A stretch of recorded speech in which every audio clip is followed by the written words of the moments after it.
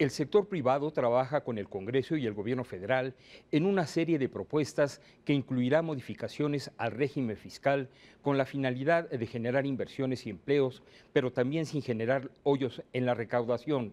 El Senado debe aprovechar los acuerdos alcanzados entre las distintas fuerzas políticas para que sean aprobadas las modificaciones a la Constitución que permitan el funcionamiento del Sistema Nacional Anticorrupción